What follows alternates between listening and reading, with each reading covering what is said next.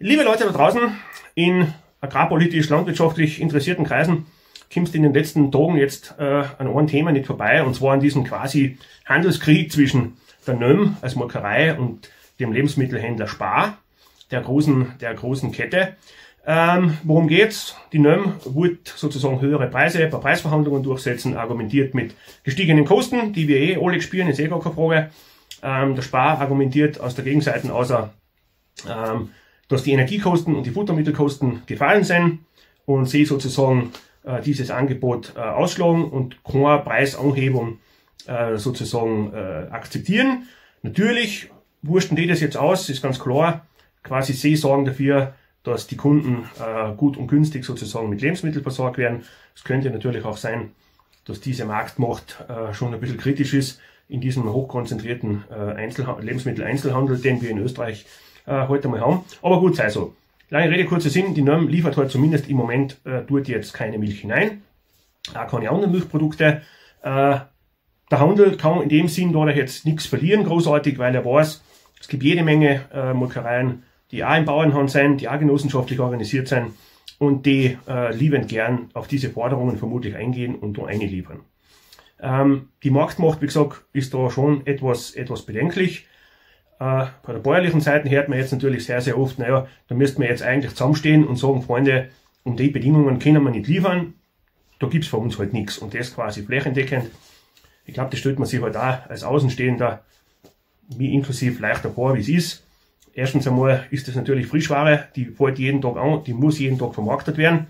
Da geht's ja dementsprechend um große Mengen. Das ist ja nicht der, der, der, der Kreisler im Ort, sondern das ist ja eine, eine Riesenbude, der Spar, ganz klar.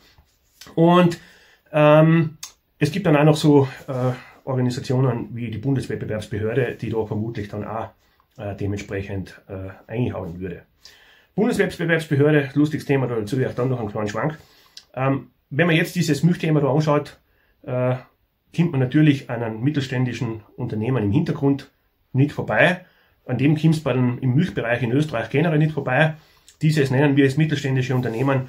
Äh, leistet sich ja nebenher auch noch so eine mittelgroße Bank, die ja nicht nur, ich glaube, die ist sogar global aktiv. Und darüber hinaus äh, leistet sie die ja sogar eine eigene Partei, die vor allem in landwirtschaftlichen Themen in Österreich ja so stark äh, dominiert. Diese äh, Partei hat gerade Regierungsverhandlungen anzuführen oder Koalitionsverhandlungen anzuführen, wie auch immer man das nennt, Regierungsbildungsverhandlungen anzuführen.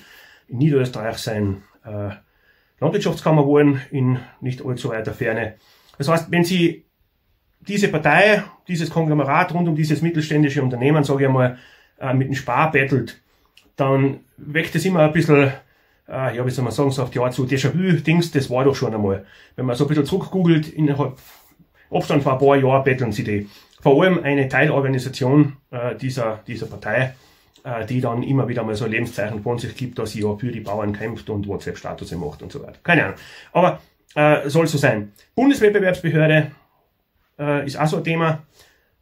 Ausnutzung der Marktmacht ist in diesem Lebensmittelhandel ja ein großes Thema. Wir wissen in Österreich äh, unvergleichlich hoch äh, im europäischen äh, Vergleich konzentriert auf einige wenige Handelspartner äh, auf der Vermarkterseite. Ähm, dem Vernehmen nach ist der, der, die Bundeswettbewerbsbehörde sozusagen äh, ja, diesem Konglomerat rund um diese Bank, diese Partei, dieses mittelständische Unternehmen als eher, eher wohlgesonnen. Also es hat da einige Fälle gegeben äh, in den letzten Jahren, wo du eigentlich als interessierter Laie sagst du, es ist eindeutig Ausnutzung der Marktmacht, da muss die Bundeswettbewerbsbehörde was machen. Äh, in solchen Fällen ist da gar nichts passiert. Im Gegenzug da, dazu sozusagen ähm, gibt die Bundeswettbewerbsbehörde hin und wieder auch ganz lustige Lebenszeichen von sich. So geschehen vor zwei oder drei Jahren mittlerweile, wie diese ganze Teuerung da so angeschoben hat. Da hat nämlich so eine gratis Tageswochenzeitung in Oberösterreich, ich glaube in Steyr, wenn ich es richtig im Kopf habe, einen Kebabroter äh, interviewt und hat gefragt, ja, keine Ahnung, wie geht's hier mit der Teuerung um, wer hat jetzt der Kebab teurer und so weiter. Und der Typ hat dort gesagt, na, er hat ja schon mit seinen Kollegen und Brudi im Ort geredet, auf die Art, der die anderen Kebabständel betreibt, äh, was machen wir mit dem Preis? Äh, sie wollen sich da halt irgendwie äh, äh, sozusagen was ausdenken. Da brauchst du nichts denken, zwei Tage später war bei denen die Bundeswettbewerbsbehörde im Haus nach dem Erscheinen der Zeitung, weil natürlich dort der Verdacht auf verbotene Preisabsprachen äh, wirklich äh, eklatantes Thema war und in diesen Milliarden-Business Käberbroten in Steyr unmittelbar das Einschreiten dieser Behörde äh, da sozusagen äh, erfordert hat. Du hast Leute, die in dieser Behörde drin sitzen, bei eben solchen Firmen, Konglomeraten, Vorträge halten und so weiter, ist vermutlich alles nur Verschwörungstheorie, aber ist eben ein, anderes Thema. Grundsätzlich eben da jetzt die, das würde ich eben auch noch erzählen, ähm, wie argumentiert meistens da dann die, äh, die, die, die Handelsseiten sozusagen gegenüber oder gegen solche Preisforderungen, die auf den ersten Blick, wir spielen es alle im Göttaschel, so es teurer wird, ähm, aus der Produzentenseiten ja durchaus äh, äh, ja, angebracht erscheinen mögen. Da sind wirklich absolute Profis am Werk. Das geht eben so weit, dass da Einkäufer zum Teil deutlich über 100 Kühe besitzen, selbst wirklich am Papier besitzen, die natürlich nicht selbst bewirtschaften, sondern die hier in ganz Österreich im Einzugsgebiet aller in Frage kommenden Molkereien äh, aufgeteilt haben und die dort bei Bauern eingestellt haben. Die bekommen von diesen Tieren jeden Monat sozusagen die Auswertung, was kostet das Viech, was hat das Viech braucht. Und daher, mit diesem Informationsvorsprung, gehen die dann in diese Preisverhandlungen. Ne?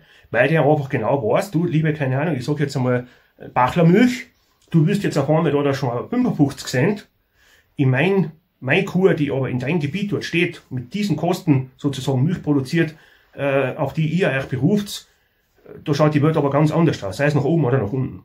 Das heißt, da sind da schon absolute äh, Profis am Werk, die da wirklich ähm, ähm, dementsprechend ja, gegenüber der bäuerlichen Seiten, die halt dann meistens aus gelernten Bauern besteht und halt ein paar bezahlten BWLern oder keine Ahnung was da vorne sitzen, ähm, die haben da schon einen dementsprechenden Vorsprung, äh, wage ich, ja, oder befürchte ich, äh, sagen wir so. So, lange Rede, kurzer Sinn, dieser ganze äh, Milchapparat da, äh, dieser ganze Milchmarkt ist wirklich eine Wundertüte.